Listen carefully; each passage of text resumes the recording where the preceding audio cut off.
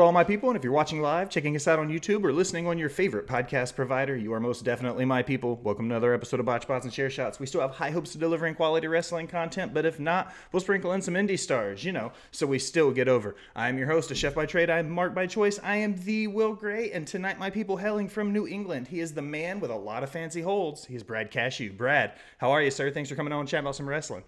I'm doing great, Will. Glad to have you on. Glad to be here. Looking forward to a good conversation.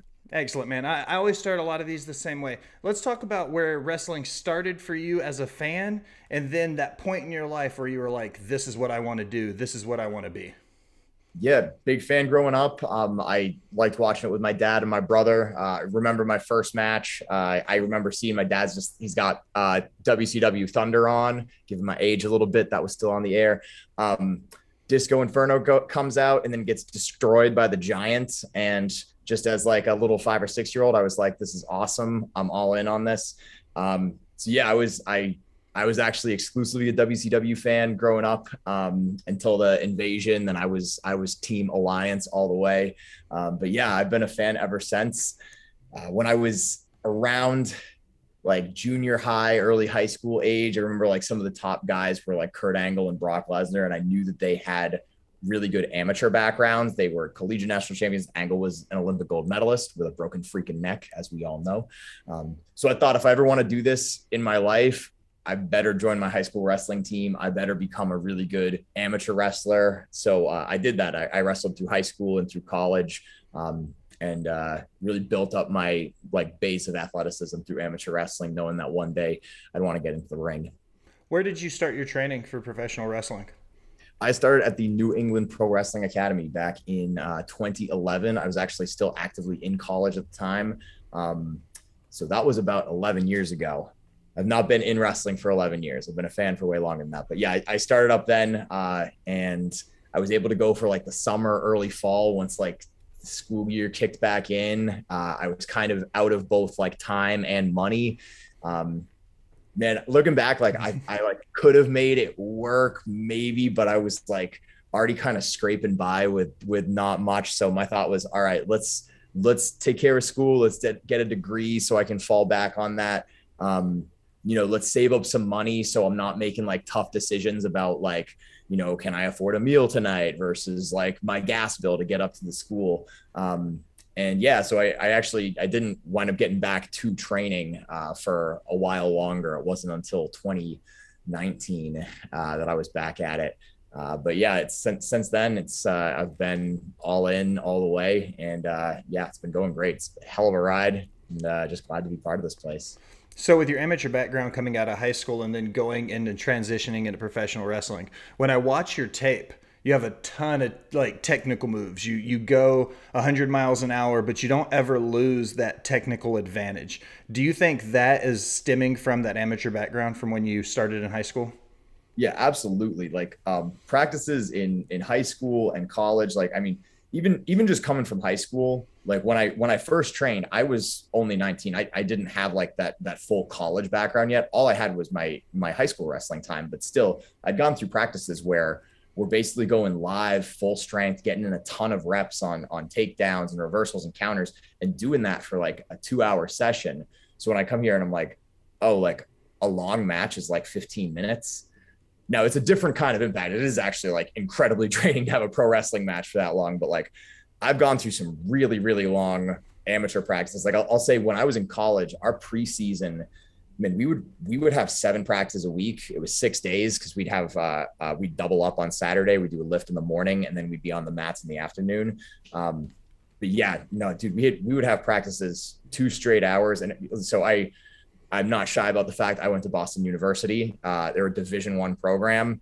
Um, no, I walked onto the team. I was good in high school. Like I was captain of my team, placed at states, um, was a top wrestler at a mass, but like the Division One level is super super competitive and elite. Like my all my friends on the team, it was just like Minnesota state champion, Michigan state champion, like top four in Jersey, like top four in Ohio. people that were just really, really good from all over the country. So there was no real like weak link in that training room. Anybody you're you're going against, it's it's like a shark tank. You're just trying to keep up and like, you know, every like takedown is something that you can like be proud of there.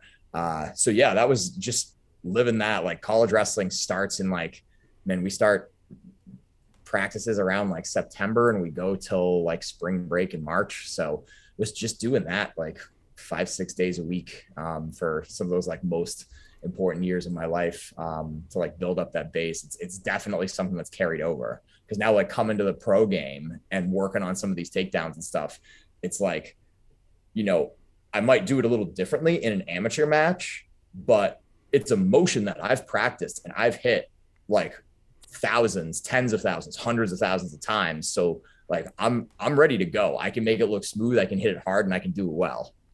So a lot of guys when they when they talk about their matches inside the squared circle, uh, they use a phrase calling it in the ring a lot of guys I've talked to and I've had a, a, chance to, to have a conversation with and talk shop have said that their amateur background has helped them with being able to call it in the ring because you're so adaptable and you're you have the muscle memory of what these holds feel like. So it's more fluid when you have that background. Um, so it's not necessarily the same question back to back, but when you're in the ring calling it in the ring, do you feel more comfortable because of your amateur background? Because you Absolutely. can flow. Yeah, absolutely. I mean, an amateur match, a college match, it, at most it's seven minutes. So unless you can pin somebody, you got to make you got to make do with that seven minutes and score points where you can. And when you're against somebody that's a really high level, they're not going to give you any freebies. Yeah, you've got to like take it like you have to like set the position how you need it. You need to adapt to whatever they're doing. So uh, I'm used to being able to read that situation and come up with that counter or come up with that best way to to change the advantage. Um, so with that, like, yeah, I, I can call it on the fly because I'm never gonna freeze. I always know like where I am and what's possible and what's available. Um, so let's talk about when you're working outside of an amateur thing. You have a, a lot of like in your in your in-ring work, I don't like to say high flying stuff, but you display a lot of agility when you work in ring. What are some of the biggest things you do to prepare for a match, knowing that you're gonna to have some of these high spots and some of these uh, little bit more athletic feats that you're gonna have to go through? I'm fearless. That's it. When it comes had- to like jumping off the top or anything like that, I mean, uh, I'll I'll give some credit to like amateur wrestling. I'll, I'll give some like you know me as a kid before I even got into amateur wrestling. Like my house was like I like me and and my brother, like we were the ones with the trampoline and we're like putting it under trees and ladders and stuff. And like, so there was always that like chasing that adrenaline rush of like, can I get, you know, can I go a little bit higher? Can I do a flip on this? So I kind of like train myself mentally for that. Then I get into amateur wrestling where it's like, you know, you could have all eyes in the school like watching you home match like senior net whatever it is you have a really really big match and you might have a really tough opponent and if you're afraid you're going to psych yourself out and get your own head. So i'm trained. I know how to just take that fear and like channel it into adrenaline.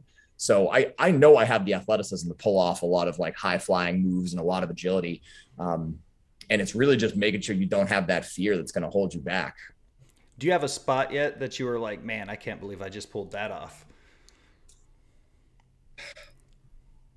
That's a good question. There's sometimes I think the first time I've wound up hitting it a few times. Um, was a very big fan of the Hurricane growing up. I was nine years old. I was the Hurricane for Halloween. Um, he did this really cool move where he'd have somebody like someone would be trying to like get him with a superplex and he'd like stop them and they'd both be on the top rope and he'd like take their head and hit a swinging neck breaker with both guys on the top rope. I think the first time I hit that was against Alec Price last summer. And it was kind of like a, you know, we were in the position for it and it was sort of like am i going to be able to pull this off and like because it's it's still very difficult i mean like shane helms is a, a fantastic wrestler. He's that, a beast. Just calling, yeah. Um, so like to be able to pull pull that off and like, um, you know, it's it's cool. Like just knowing it was like, because like I did believe in myself. Like I'm gonna be able to hit this. It's gonna work. Um, but there's still a little bit of that like doubt. Like, oh, do I really? Can I get the rotation right? Can I get this? So um, yeah, I, I, know I hit it that one time. That was back at uh, at Summer Chaos for Chaotic. Um, that was yeah back August of last year, so almost a full year ago. I've I've only really been able to hit that a couple other times since then. Um, I think I've only hit it maybe like two or three times in my career. But yeah, it's it's one of my favorite moves uh, that I've been able to pull out. Um, I also just like uh, you know, I'm not I'm not so like I'm always going to do whatever it takes to to to win and I don't want to just have a move be like it's a tribute or like I'm like a fanboy but like you know I I am a fan. I grew up liking this stuff. So I do like that I was a huge fan of the hurricane and I, I like can pull off one of his moves and do it justice. Um, I got another one of my uh, moves I hit a good amount. I've never been able to win with it but there's this um it's uh, an Alabama slam, but you sit out with it. Um, one of the commentators called it the Nutville slam. And I was briefly, uh, I was billed from Nutville uh, when I was very early on. Um, the uh, the famous uh, legendary city of Nutville. But uh, yeah, it, it, had been called the Nutville Slam. It's a sit out Alabama Slam. I got that watching uh, Chris Kanyon, actually. I was a big fan of Kanyon. Uh, like I said, I was a WCW guy. Um, but it's cool being able to kind of work into my own repertoire some of uh, the guys who I think really helped make me a fan and uh, and get me into this. So you brought up the prize Alec Price. Um, I've mm-hmm. recently interviewed him. He's the Limitless champ. You yourself have some Limitless days coming up as well. Uh, what has your time been with, or how has your time with Limitless been? Yeah, so I started wrestling for Limitless about a little over a year ago. Um, I came in and the people of Maine have just been disrespectful to me from day one, and I just don't particularly care for it. So, um, you know, I think I'm just going out and being myself. But yeah, the people from Maine have been very antagonistic toward me. So I'm not one to just take that line down. So I, of course, give it back to them and, and let them know that I don't really care for their attitudes. Uh, but I've been able to have some some great matches and great opponents uh, in Limitless. Uh, I'm really proud of a lot of the work that I've been able to do there um, there's yeah I, I could roll through a lot of matches that I just I, am really proud of. Going back a, about a full year, um, I, I had a match with uh, Iron Rip Bison that I feel really proud of. There's one I had with Davienne um, that was coming right out of the. Um, that was actually the first one I had at Limitless. That was before we were even back to crowds. Um, there's uh, a few times I've wrestled Becca uh, that have gone really well, uh, and then I, have had some some really fun experiences being able to work with Dirty Dango, Scotty 2 Hotty, um, at Gangrel recently, um, and yeah, I believe my most recent match there uh, was with the Big Boofa Desmond Cole. Um, he did get the better of me on that occasion. I'll give him I'll give him some credit. He did outsmart me and beat me at my own game. So you got one, Des. All right. But Boofa, this ain't over. So when you have a chance to work with guys like Gangrel and Scotty Hotty, when you work with veterans that have been in the industry as long as they have been, uh, what are some of the biggest things you take away from those matches? so while I'm competing against them, it's always, you know, I'm I'm a student of the game. I'm a I'm a college graduate. I'm, I'm a lifetime learner. I'm always improving my game. As, as, soon as I stop improving, then I'm done. I'm like out of this. So I'm always looking to get better. So even as I'm trying to beat somebody like a gangrel, I'm noticing the way that he maybe positions himself or things that he might do um, to help like help himself uh, like build some momentum or how he's positioned himself for some moves or what he's kind of going for. Um, so really noticing some of those little things. A lot of times uh, what'll make like the GIF or the the big photo, uh, like the big photo op from it will be that one really big move, that big high spot, whatever. Um, it's a lot of those like in betweens where you see that real like mastery that you can only get through either you know 20 plus years in wrestling or taking the time to really carefully study uh, and try to apply it to your own game. Nice. Um, when you look at some of the things you've done at Limitless, and then you go somewhere like Chaotic Wrestling, you've got some dates with Chaotic coming up too. Do you see a huge difference between the fan bases when you go from uh, promotion to promotion or territory to territory? Yeah, it's uh, even though there is a lot of overlap, there's some people that I'll see everywhere, uh, but every place has its own feel. Every place has got its own energy, and uh, that's important to just keep in mind when you go in, especially if you're someone like, uh, you know, the chaotic fans, they give me a lot of support and a lot of love. So from there, a lot of times I'm feeding off of that energy. Um, I'm really like letting it fuel me and, and help me Like, you know, it's something I can rely on. It's like it's like a home game versus an away game. Limitless is definitely an away game. For there, I know that they're not going to be nice to me. They are going to say very disrespectful things to me. They're going to curse at me. Um, they're going to question uh, all of my life choices. And uh, with that, it's like, all right, I just got to, you know, let that fuel me in a different way. So it's just it's prepping your mind. Uh, so like, am I gonna get encouragement? And it's like all these people have my back, or am I basically fighting everyone in this arena right now? Either way can get me fired up. Like I'm good with it. Like I'm somebody that can feed off that energy no matter what, uh, and I take pride in that. But yeah, you do got to kind of know what you're getting into. And that's something that can be fun about going someplace new. I actually uh, I just wrestled at Fight Life down in Rhode Island. That was uh, like two, three weeks ago. And for that one, it was again, not really sure how they'd respond to me and, uh, you know, kind of trying to tease that out and figure out, all right, if that's someplace that I'm going to be coming back to, which I do plan to be, what are they kind of giving me and how am I going to kind of reshape my game based on that? So a lot of people say when they work on their characters and their gimmicks and they're building their in-ring personality outside their work, they turn up a little bit of their everyday life to 11. What part of Brad gets turned up to 11 when he's in a match? Um, I'd say like my intensity uh, and just like my focus, my determination. Like I, I am a generally pretty intense person, uh, like outside of the ring as well. I'm somebody who goes hard on everything I do. Um, but yeah, I think something that's important to take away. A lot of times people talk about like your character or your persona. Like, I'm me. I think if you're trying too hard to like be somebody who makes it, then you're being fake. And like everyone can see that and, and you can like see through it. Like, I'm me. Whether you like me or you don't like me, whether the crowd's for me or against me, I'm still just showing different aspects of the real person that I am. Um, so you know the cameras are on you might think like oh it's just an act you're like pretending stuff it's no no no for me it's like you know in maine i'll show some different aspects of me when i'm in front of that limitless crowd then when i'm chaotic it might be other parts of it but it's the same way as like you're you're a different self when you're with one friend group versus if you like go to work and you're talking to your work friends then you're back with like your old high school friends and stuff. That's how i see it with wrestling. So um, i think if anybody like if anybody out here is listening to this and thinking about like you know oh what do i do for my character my like it's like dude if you got to think that hard then you're being fake. And like it's it's gonna shine through. So just be yourself. Find something that's like i don't know you can attach to and and feels like genuine because when you're genuine everybody can can tell so i've always just been me um different aspects of the full me but uh yeah all this is just me being who I am.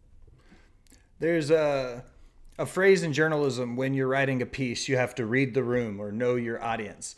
When you step into the squared circle and you're getting ready for a match, do you feel like that's just as important for you when you get in the ring to be able to read the room and know your audience, to know what the, what you're going to need to do to get a pop, how you're going to get over, or if you're playing as a heel, how to get the heat that you need. Uh, do you read the audience for that?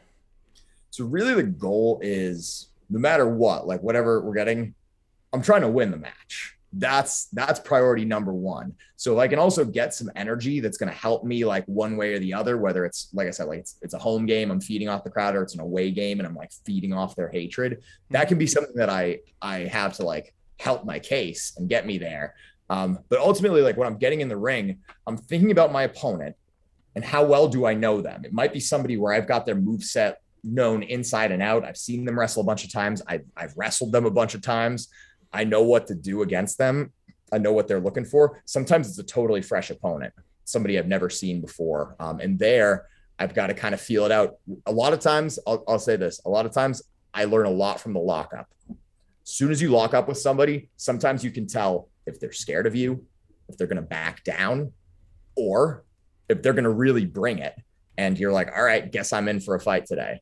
So I always like to, you know, try to pay attention to what my opponent's doing, seeing if they're sending me any signals that I can pick up on. So a lot of guys have told me that the collar and elbow at the beginning of the match is kind of the once upon a time for the story that you guys are going to tell. Lots of trainers have used that reference with me. If you were going to look at the collar and elbow tie up as a once upon a time, do you think it's the most important move in wrestling? Hmm. I know that's a big question. That's loaded. That's that is like also an interesting way to think about it because it's like to say it's the most important move. Um, it's it's also kind of like saying like the like my gut reaction is no because you can't win with it. Oh, I've got a uh, follow up question that's just going to be just as hard for you. I'll, you like uh, something I'd say is like a, an interesting parallel to it is um, what's the most important match in a card. A lot of people will say the main event. But there's also a really good argument to be made for the opener because that's going to set the tone. So it's essentially is your is your opener what's more important? It's like I, you know, I don't have a good answer, but like I'm gonna give you some credit, Will. I do like that question. That's that's getting me thinking. The follow up, I always ask if the once upon a time is a collar and elbow, then what would be the uh, the the happily ever after or the end of a match? Then, like, what would be? How is the process for you when you start building your finish? Um, so for me, uh, I'll usually my best weapon I have, and and yo, I'll advertise. I put it on a shirt. Like I don't care if anybody's trying to scout my game. My best weapon is the shellacker. It's a spin and heel kick. Um, I get a lot of sauce on it. You know, my legs are super strong from having to stand in a wrestling stance for two hour practices all through high school and college. So I've got strong legs, and if I kick you in the head with them with added rotational momentum, I'm gonna knock somebody out. So if I hit that kick, it's done. I usually try not to go for it till I've really got somebody like weakened. Um, and that's because like, you know, if I'm if I'm gonna hit it, I know it's gonna be it. But I also it's it's a vulnerable position to put myself into because the spin kick, I do need to turn my back on my opponent and I'm gonna be more off balance going up on one foot and reaching my foot up toward their face. So if I miss it, I can potentially put myself in a tough situation. I'll say my my most uh, one of my most recent matches I had in chaotic, it was a beat the clock challenge match I've got 632 to beat Trigger the OG. I was swinging for that thing from the jump. Like I, I never wound up hitting him with it. There was a little bit of shenanigans at the end that kept me from uh, being able to get the win I deserved. But um, I was going for that a lot. Was never really able to put him away with it because I never connected with it. I actually think looking back on my strategy, probably should have maybe set him up a little bit better in order to go for it. Maybe I could have saved myself some time um, and then would have been able to maybe get that with a little bit more time on the clock at the end. But um, for me, like that's my exclamation point. Like that's my end of the of the sentence is hitting that move, hitting the shellacker. It's all done. Um, and I'd like to think that just about anybody, whoever you are, when you're a wrestler, whatever you're putting the match away with, it should be like it's done. You got him. Like I've I, will admit like I win some matches sometimes just like I am a good amateur wrestler. I can catch someone with a good technical roll up. I can use leverage and momentum and and I've actually had some of my wins I'm most proud of being able to like catch somebody. But the best, most satisfying wins. This was something my um one of my college coaches said is it's like you want to finish the match like you don't want to you don't want to be up by 10 and then you start coasting in the last 45 seconds because you know you've already won and maybe you give up a takedown and then you finish out the match on bottom. Like no no no. Even though you are going to win that one, like you might see that guy again at the national tournament. You might see him again next year. So you want them to walk off the mat feeling like I got beat. So even if you're up by 10, even if you're up by 12, push the pace, go for that takedown, go for that next move. You don't want to just beat people, you want to break people. So I take that into the squared circle. I don't want to just beat you by catching you. I can do that. But if I can nail you with my kick, leave you out cold, then you know that I'm the better man. I won this time. So when you're in a match, which do you feel you get the biggest rush from? When you get somebody to tap out or pinning their shoulders for the one, two, three? Hmm. Having an amateur background and a striking proficiency, which do you think makes you feel more successful in the ring? Pinning a man for the one, two, three, or making him tap? I'd say, I think I'd lean pin. And it's just because it's more like, because the question was about like, what's a better adrenaline rush? Yeah. With pin, you kind of like, you don't really know for sure. Even if you got him with like your best shot, there's always that little bit of doubt that they might like just be, barely be able to kick out or something like that. So eh, there is that rush. And even if you don't hit your best move, sometimes on a pin, it's like, oh, may, maybe that just got me just enough. That knocked them out for four seconds. Well, I only needed three. So there's the win. I feel like now, I think some people will probably disagree with me on this.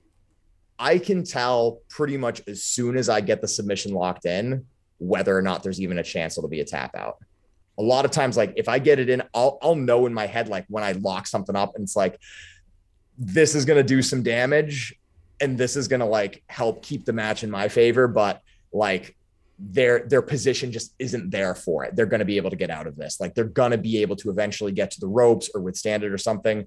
I have won matches by submission but it is like once i get that hold locked in i know that it's like all right this is as tight as it can be. I've got this on perfect. It's just like, you know, count to 10, they're probably going to tap by five.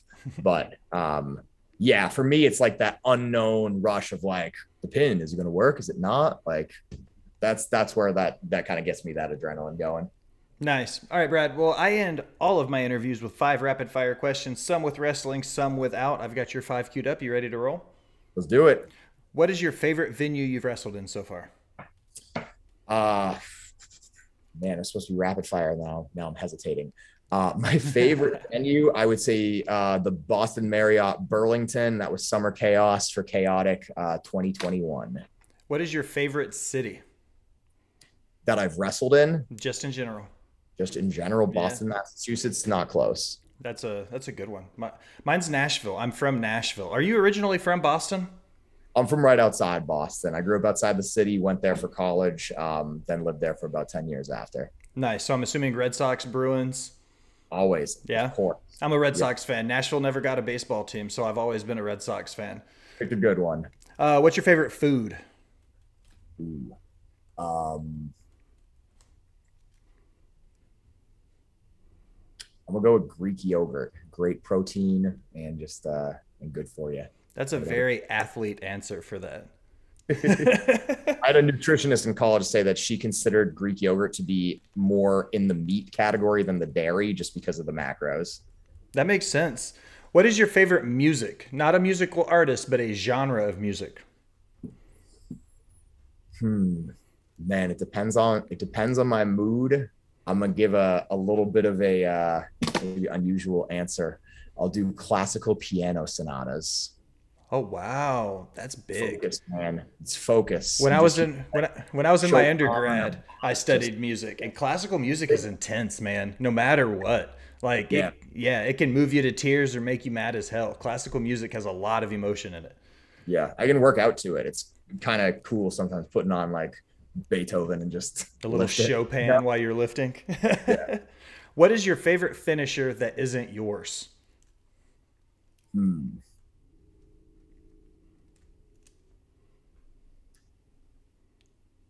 The Stone Cold Stunner. Always a solid pick. Um, all time great. I, hang on, I might Diamond Cutter. Diamond Cutter's like they're so close to being like almost the same move.